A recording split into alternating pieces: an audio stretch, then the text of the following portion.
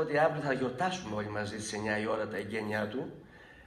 Είναι ένα έργο στο οποίο αληθινά κουράστηκα.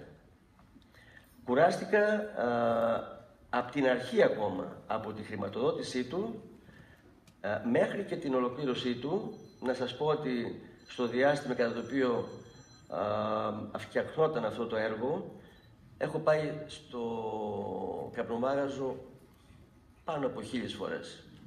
Καμιά φορά κοιμόμουν και μαζί του. Ονειρευόμενος το τέλος της ανακαίνισής του, η οποία έγινε εκ θεμελίων, έτσι, διατηρώντας το προήλυμα απ' έξω.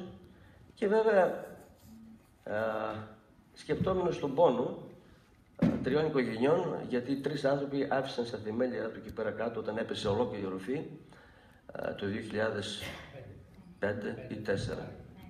Πέντε.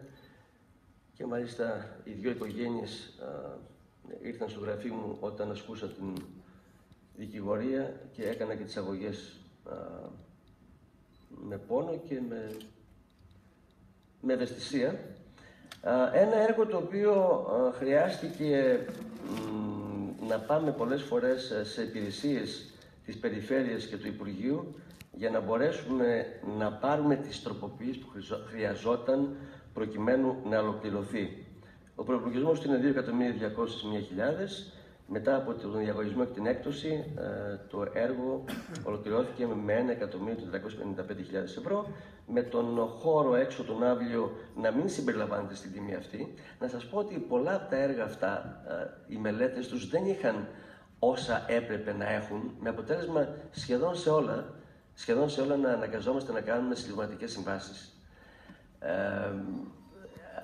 αυτό σημαίνει ένα βάρος για τους δημότες, γιατί επιβαρύνει το προπολογισμό, ενώ τα χρήματα αυτά θα μπορούσαν να πάνε κάπου αλλού. Τέλος πάντων, σημασία είχε ότι έργα σαν αυτό ολοκληρώθηκε. Αυτό που βλέπετε είναι, αυτό που βλέπετε είναι ο πρώτος όροφος, ε, ο δεύτερος όροφος.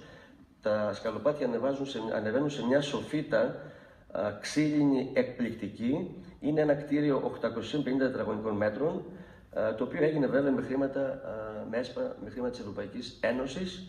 Τα καταφέραμε, πολλές δημοτικές αρχές προσπάθησαν να το ολοκληρώσουν. Έφτασε μέχρι και σε σημείο κάποιοι να αναλογιστούν ότι το κτίριο αυτό στην κατάσταση που είχε έρθει μετά από την εργολαβία με τη ΔΠΑ και του Γιώργου Ακόπουλου, ότι έπρεπε να κατεδαφιστεί, γιατί δεν μπορούσε να αντέξει και ήταν επικίνδυνο.